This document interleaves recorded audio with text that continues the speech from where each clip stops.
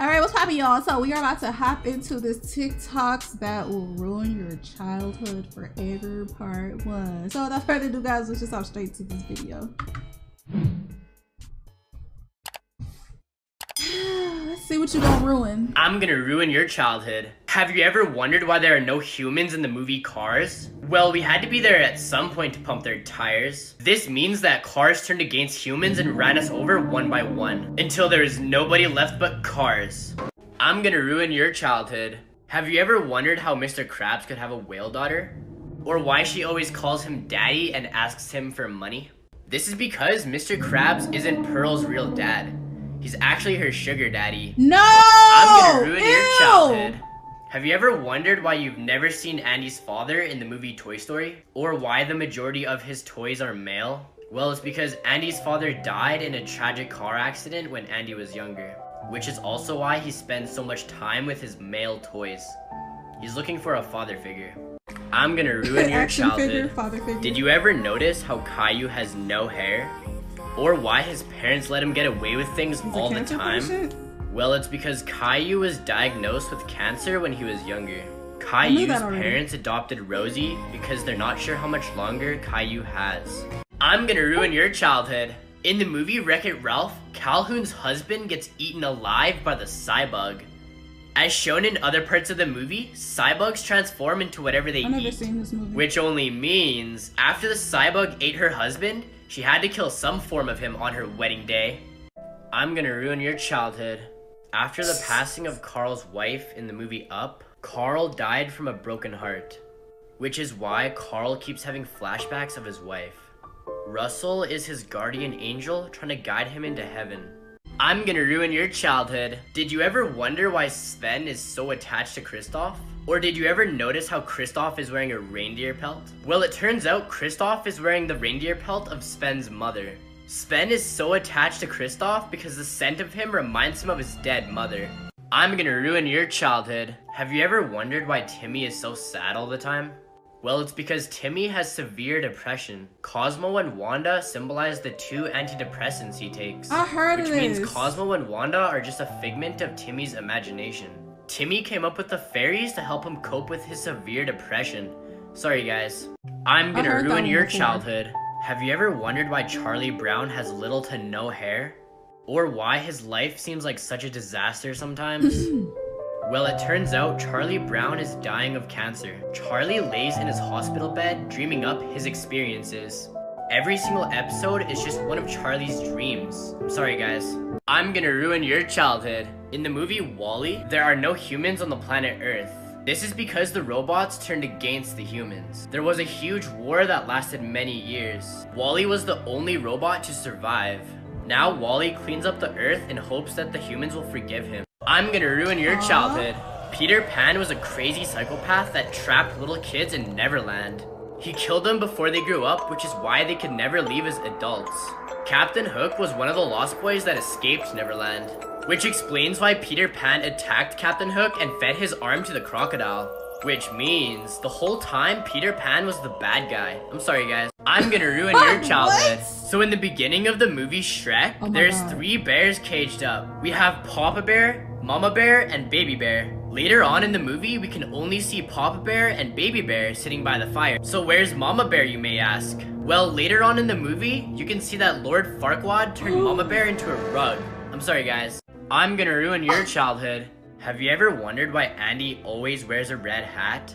Well, it's because Andy's mom used to own Jessie when she was a kid. In a flashback, you can see that exact same hat right here. I heard this Andy's before. mom gave the red hat to Andy when he was little, which means she also abandoned Jessie when she was younger. I'm sorry, guys. I'm gonna ruin your sorry, childhood. guys. Have you ever wondered why Mr. Krabs is the only crab in Bikini Bottom? Or why he named his famous burger the Krabby Patty? Well, it's because the secret ingredient for the Krabby Patty is actually crabs, which means Mr. Krabs is a cannibal. I'm sorry, guys.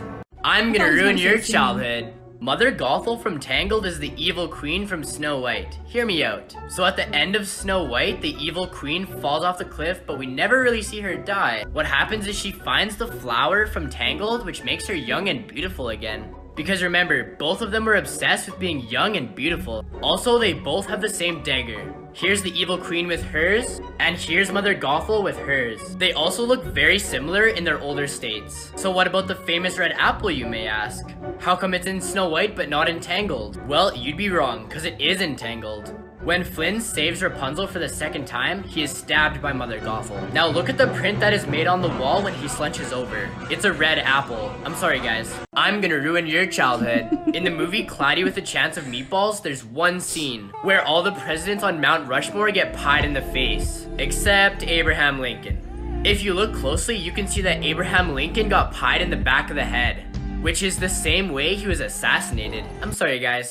I'm gonna ruin your childhood. In the show Blue's Clues, have you ever wondered why Steve talks to random objects all the time? Well, it's because Steve is a drug addict and is losing his grip on the real world. The child voices he hears in the background are actually people trying to help him get back to reality.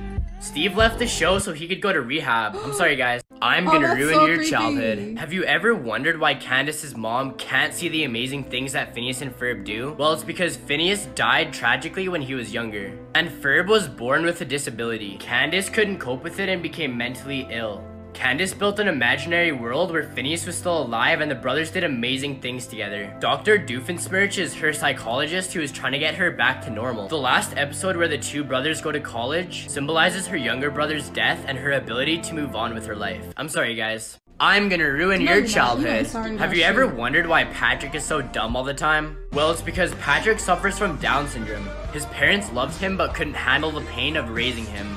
So they kicked him out when he was only a child. Patrick became homeless, which is why he lives under a rock. Patrick's parents told SpongeBob to take care of him, and they became best friends ever since. I'm sorry, guys. I'm gonna ruin your childhood. Have you ever wondered why Squidward always gets mad at SpongeBob?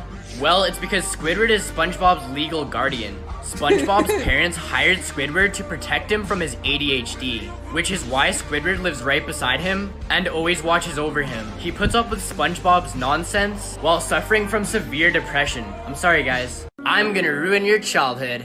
Remember the show Rugrats? Oh well, all the babies are dead and are just a figment of Angelica's imagination. Oh Chucky and his mom died giving birth, which is why Chaz is a nervous wreck all the time. And Tommy died due to complications, which is why Stu is always in his basement making toys for the child he never had. The DeVilles had an abortion, and Angelica couldn't decide whether it was a boy or a girl, which is why she came up with the twins. Susie is Angelica's only real friend, who went along with it to make her happy. I'm sorry, guys. I'm gonna ruin your childhood. Have you ever wondered how all the creatures in SpongeBob can talk? Well, it's because the Bikini Bottom is located right underneath the Bikini Atoll, which is where the US government conducted 23 nuclear tests during the Cold War. SpongeBob and his friends have been genetically mutated by the nuclear radiation, allowing them to evolve and talk like humans.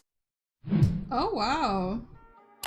See, I like these like little weird dark cartoon theories or whatever. Like, I don't know. It's just it's it's always interesting because it's like when you look at these videos as an adult, you kind of like notice things that you did not notice when you were a kid. But yeah, this was a, a really cool video. But that was my reaction, guys, to this video. If you guys enjoyed my reaction, please make sure to leave a like, comment, and subscribe. And I will see you in my next reaction video. Bye.